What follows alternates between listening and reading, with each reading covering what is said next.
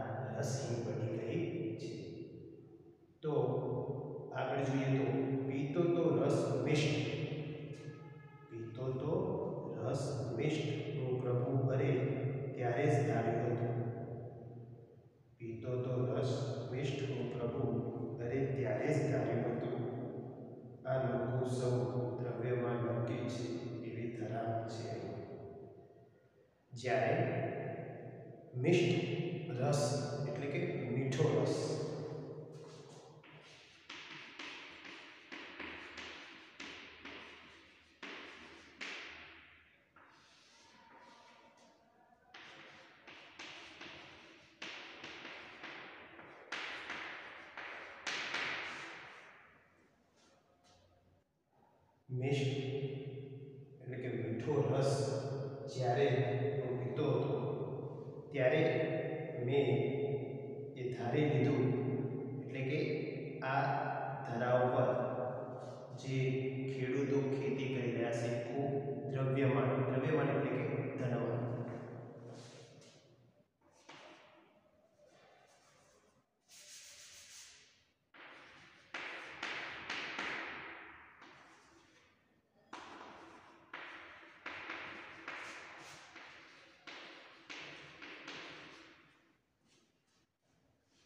જ્યારે આ મેં રસ પીધો અને મને એમ થયું કે આ ધરા ઉપર જે ખેડૂતો ખેતી કરી રહ્યા છે તે ખરેખર દ્રવ્યમાન હશે એટલે કે ખૂબ ધનવાન હશે એવી આ ધરા છે ધરા એટલે કે આ પૃથ્વી આ જમીન આ જમીન એટલી રસાળ છે કે અહીં જે ખેડૂતો એ ખેતી કરીને જે ધન કમાતા એ ખૂબ ધનવાન હશે जो मुझ बाघे नहीं समो ते वार त्यार मने वो विचार के आ खेडों तो पास खेडों तो खेती कर भाग राज्य एट्ले दरबार की अंदर जमा करा से भाग एम जो कर लूँ कर हूँ जरा दू तो आचार હે માતા મને આવ્યો આ મીઠો રસ પીવો શા માટે બહુ દ્રવ્ય આ ધનિકની પાસેથી દેવું નહીં દ્રવ્ય એટલે કે ધન ખેતીનો કર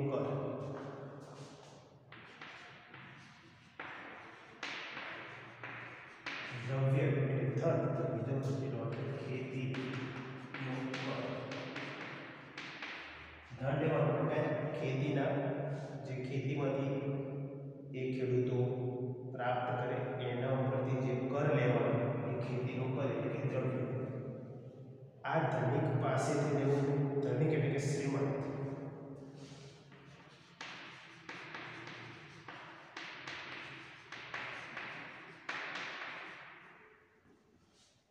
શું કહે છે કે આ રસા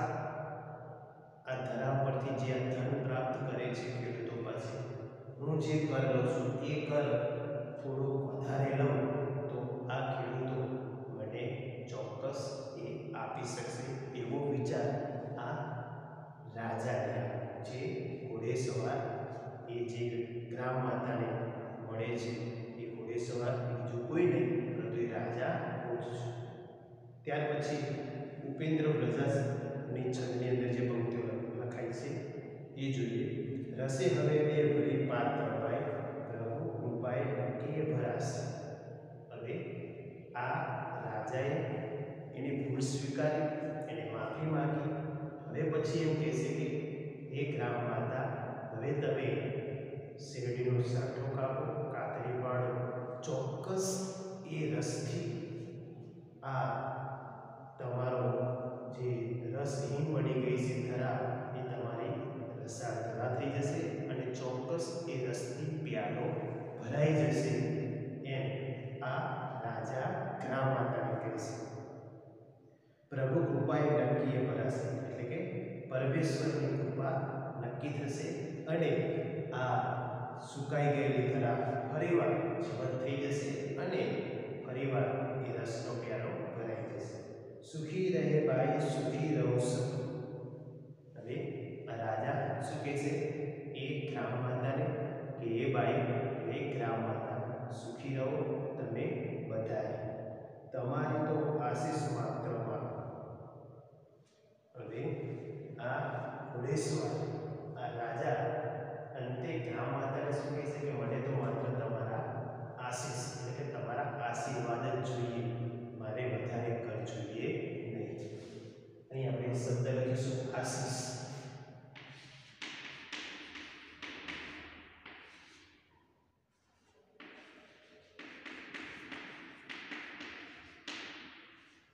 અંતે ગ્રામ માતાને એ રાજા શું છે માટે માત્ર તમારા આશીર્વાદ જ જોઈએ મારે બીજું કંઈ જોઈએ નહીં ત્યારબાદ વસંત કલિકાની અંદર જોઈએ છેલ્લી પંક્તિઓ પ્યાલો ઉપાડી ઉભી શેરડી પાસ માતા હવે આ રાજાએ ગ્રામ માતાને કહ્યું હવે તમે આ શેરડીનો સ્તેંગ ભરયો હવે પ્રભુ ચોકસ ઉપાકશે અને તમાર આ ખેતરનો આ ક્ષેત્રનો પાકથી આપ્યાલો ભરાઈ જશે મને વિશ્વાસ છે તો કે પ્યારું કુવાડી ઊભી સીધી પાસક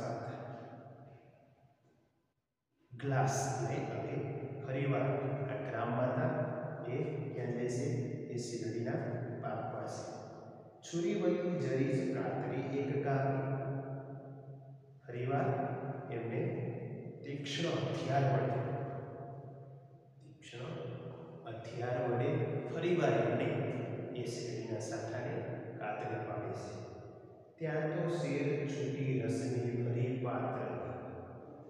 જેમ સૌપ્રથમ જ્યારે આ રાજા પાણી માટેની માંગ કરે છે ત્યારે ગ્રામ માતા એમને જે हस्ती प्यालो कही जाए यज रीते फरी वस्ती प्यालो छलकाई गई त्या तो शेर रसनी भरी पात्र देवा बहोड़ो बहे रस बहु छलकायु प्याल बहोड़ो एक पुष्क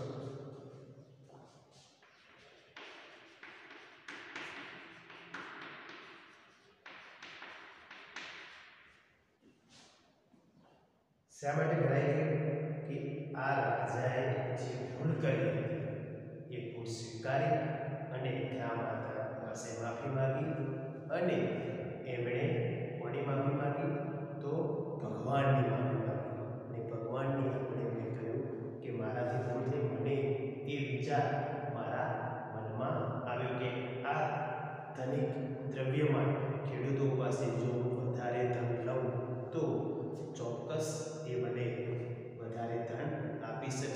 કેમ કે આ ધરા છે રસાળ છે અને અહીંથી જે ખેડૂતો પ્રાપ્ત કરતા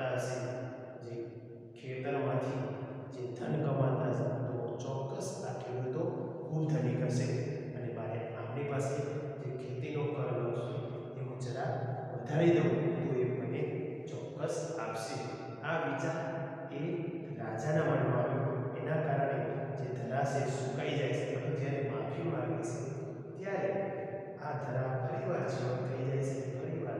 રસનો પ્યાલો ભરાઈ જાય છે તો કે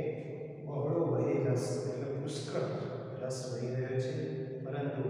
એ રસથી આ પ્યાલો છલકાઈ ત્યારે ગ્રામ માતા ખૂબ રાજી થઈ જાય છે આમ મિત્રો ગ્રામ માતા કાવ્ય દ્વારા અહીં રાજાએ જે પોતાના વિચારો પોતાના जे विचारो छे કે વિચારો થી એ સારા ન હતા કેવાતા વિચાર તો એક ખેલુ તો માટે એક ખેલુ તો કર ભરતા ભરવા છતાય તે ખેલુ તો પર વધારે કરતો એવી નમનીયા જે લાલચ આવતી એ ધરાસે એ ધરા